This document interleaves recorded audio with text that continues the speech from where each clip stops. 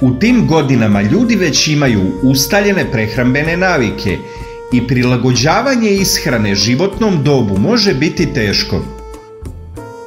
Ali kada je u pitanju održavanje dobrog zdravlja i normalne telesne težine, to je prioritet, pa nema drugog izbora nego voditi računa o tome šta jedemo.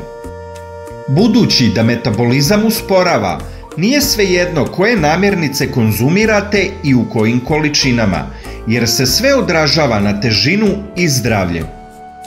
Posle 50. godine posebno treba obratiti pažnju na namirnice koje podižu krvni pritisak kao i masnoću u krvi.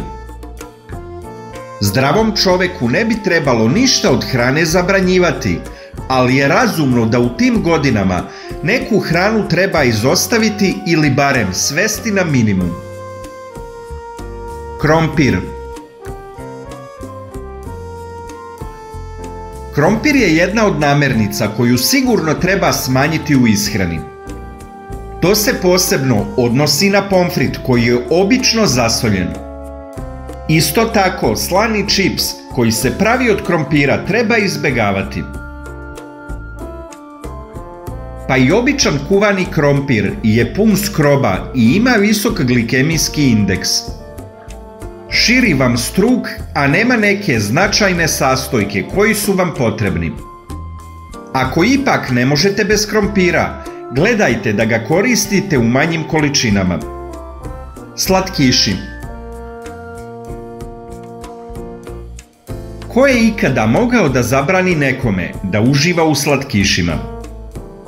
Šećer i slatkiši nemaju baš u sebi bilo šta korisno, što mogu da ponude osobama preko 50 godina. Jedino što mogu da podignu šećer u krvi ako je pao. Ali stariji uglavnom kontrolišu šećer da nije povišen, tako da je nepoželjan. Slatkiši vas goje i usporavaju. Ostaje još samo problem kako se rešiti tog zadovoljstva. Maslac Imperativ je smanjiti upotrebu zasićenih masti, kao što je maslac Milleran Pavlaka, punomasno mleko i sir. Neće vas ubiti upotreba ovih namernica u nekim malim količinama, ali ipak zdravije bi bilo sad koristiti nezasićene masti. Zato je dobra zamena maslinovo ulje i orašasti plodovi, čija će upotreba sniziti holesterol, a time i rizik od srčanih bolesti. Crno vino Crno vino je dobro, ali samo ako se koristi umereno. Jedna čašica vina je sastavni deo mediteranske ishrane, koja se smatra zdravom ishranom. Ali kod alkohola se lako pređe mera, pa treba biti oprezan. Nevolja je u tome što crno vino zna opasno da podigne pritisak, ako se pretera. Vodite računa. Suhomesnato.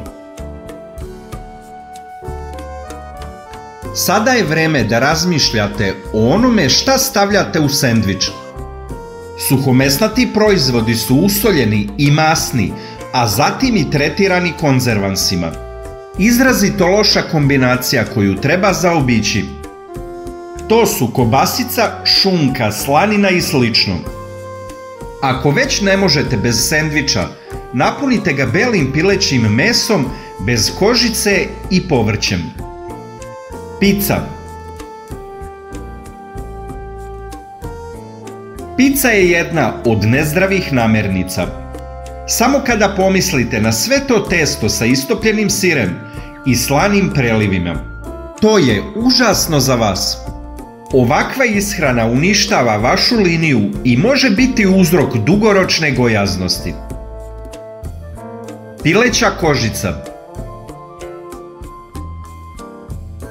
Mnogi ljudi obožavaju zapečenu i osoljenu hrskavu pileću kožicu, ali ona je puna holesterola. U ovim godinama to je hrana koju zasigurno treba izbeći. Jedite piletinu bez kožice. Od sada možete da nas pratite i putem Instagrama. Link imate u opisu videa. Još sadržaja na ovu temu možete pronaći na našem sajtu lekovitebiljke.com. A ako vam je ovaj sadržaj bio koristan i zanimljiv, kliknite like i prijavite se na naš kanal i tako podržite naš rad.